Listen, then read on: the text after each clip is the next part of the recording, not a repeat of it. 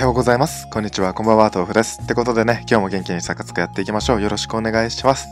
ちょっとね、まだあの、喉、喉じゃない、喉が本調子ではないので、えーうまく喋れないところあるんですけれども、えー今日もやっていきましょう。で、今日はですね、前回のコメントを読みながらですね、ちょっとお話しさせていただいた、えー SWCC プラチナディビジョンのアクティブプレイヤー数の確認の方の、えーお話しさせていただきたいと思いますのでよろしくお願いします。ってことで早速コメント読んでいきましょう。えー、大門さんコメント 本編5分27というところでありがとうございます。えー昨日ね、もしかしたら昼食入れ忘れていたんでしょうね。うん。大 変申し訳ございません。いつもあの、コメントが大体何分頃に読み終わって本編何分からだよっていうことを言ってはいるんですが、えーおそらく昨日、あの、書き忘れてしまいまして、大変申し訳ございませんでした。えー書いてくださりありがとうございます。えー、タツさん、最後に来てよかったですね。ということで、本当です。本当に最後に来て、えー、よかったです。はい。えー TY さんですね。初コメです。ありがとうございます。えー3ヶ月の新参者なので、プラチナレベルの SWCC は今回が初めてだったのですが、112位の102位と大健闘することができました。おめでとうございます。すごいですね。平均8万4000程度と大したことないのですが、星4監督のフォーメコンと当たることが多くていい感じに勝てました。やはり総合値以上に監督選びは大事ですね。今後の配信も楽しみに待っております。といったところで、えー本当にね、100人めちゃくちゃすごいです。おめでとうございます。私の最高順位よりも上ですね。負けちゃいました。えー8万4000は結構大したことあるんじゃないかなどうなんですかね今ってどんぐらいです？美課金の私が8万平均5000ぐらいでスリリング3がようやく今9万に乗ってるんですけど無課金の方だったらちょうど8万ちょいぐらいなのかなどうなんでしょうねはい。ということで、えー、あ、千葉さんも読ませていただきたいんですが、ちょっとね、後で読ませて、えーまた今度読ませていただきます。普段結構読ませていただいているのでね。ということで、お次は高政さん、コメントありがとうございます。10連目一発でデブライネおめでとうございます。えーデザインがかっこいいので、あと一人でもゲットしたいです。豆腐さんの声が素敵で聞きやすいです。いや、本当ですか？ありがとうございます。そうやっていただけて嬉しいです。10連一発目でね、出るとテンション上がりますよね。はい、おめでとうございます。ね、これデザインかっこよすぎですよね。あの、ワールドカップの時もエンブレエンブレムがね、すごいかっこよくて、うわ、欲しいってなったんですけどね、今回のこの私、紫色すごい好きなので、えー紫と緑がね、私の好きな色なので、えーこのみ、あ、紫すごいいいです。緑色のエンブレム来てくれたらまた嬉しいんですけれども、えーお次はですね、誰読ませていただこうかな。津軽州さんコメントありがとうございます。ガチャについて、かぶりの自動コイン化がなくなったので、かぶる選手の後でも新規獲得選手が現れたはずです。間違ってたらごめんなさいって言ったことで、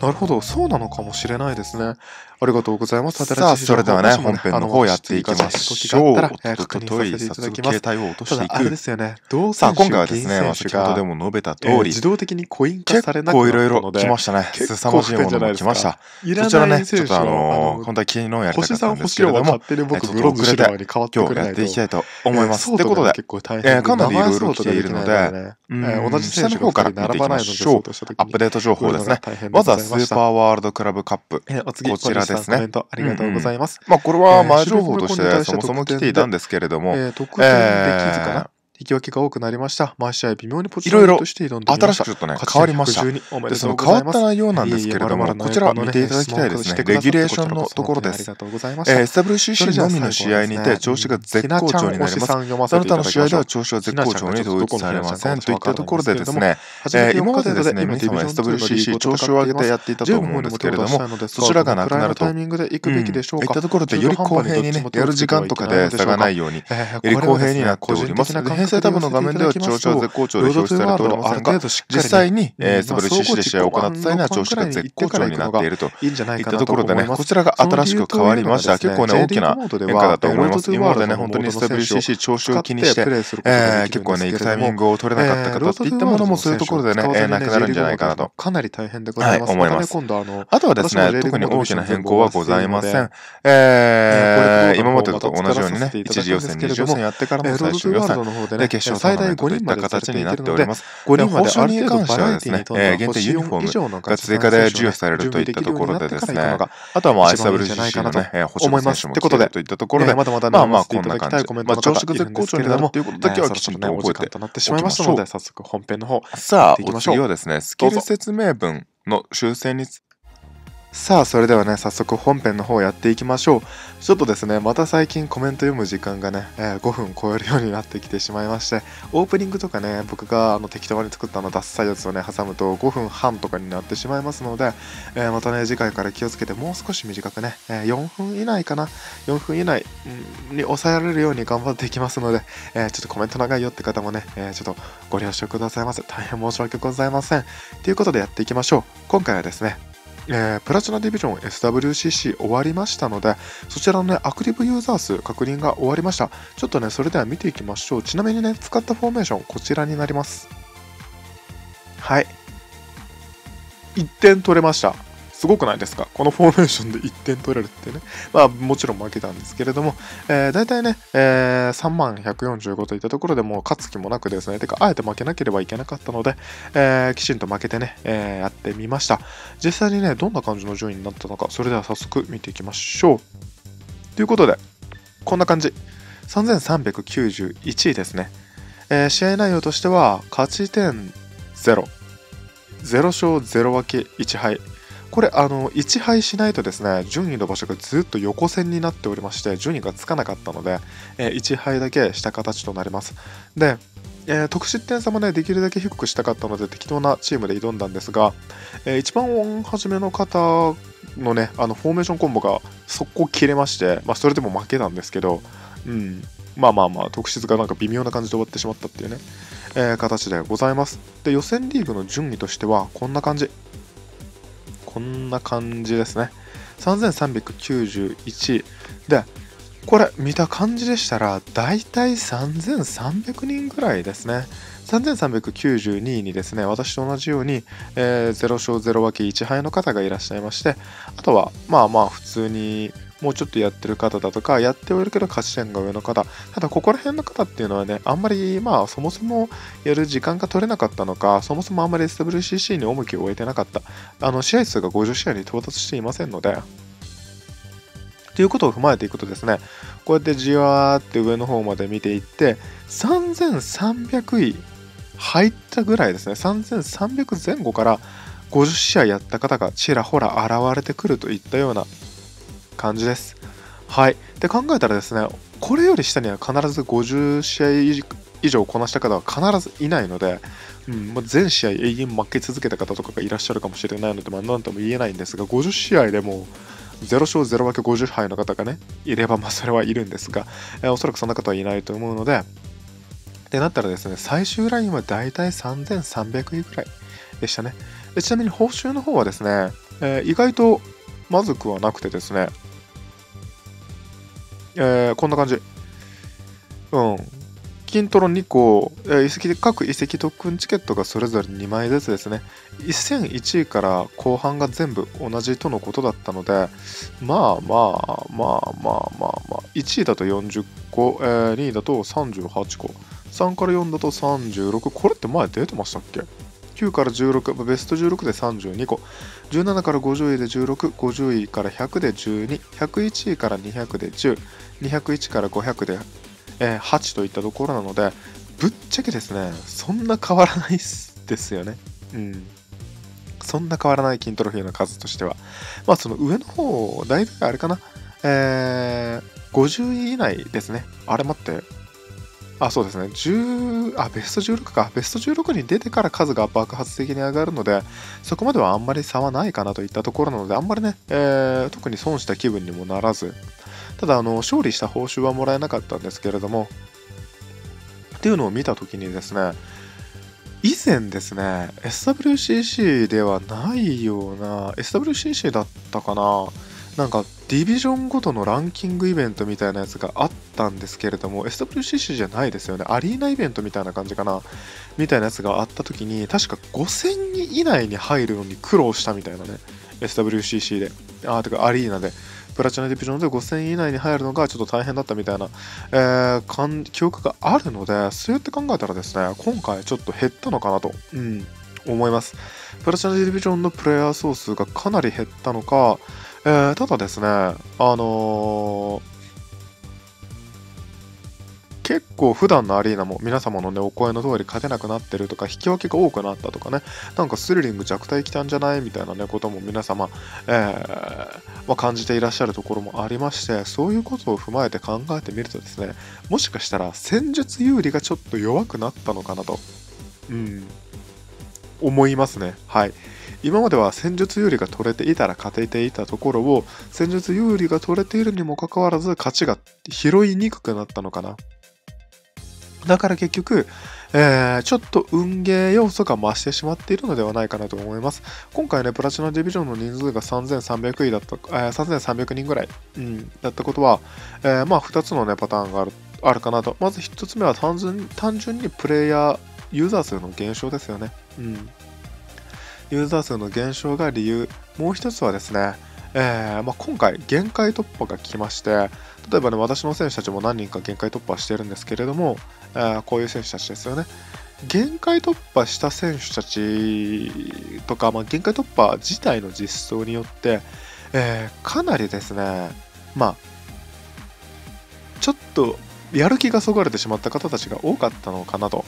うん、思います。例えばね、やる気がそがれてしまった方たちが引退したといったわけではなくですね、いや、もうプラチナディビジョン無理だから、えー、降りようかなみたいなね、ゴールドに降りようかなみたいな、えー、感覚の方が何人かいらっしゃったのかなとか、えー、思ったり思わなかったり、思ったり思わなかったりといった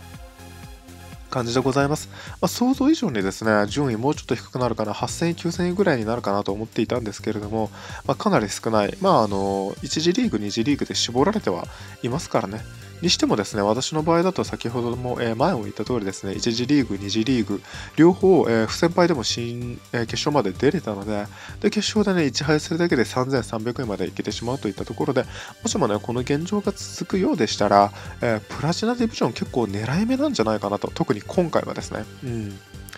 えー、かなり狙い目なんじゃないかなと。私の動画見てくださってる方って大体1000人から2000人ぐらいなので、えー、おそらくその中でね、もともとプラチナいる方も、えー、まあ、プラチナに興味がない方もいらっしゃると思うんですが、プラチナ行きたいよって方はね、行くといいかなと思います。はい。今回結構その、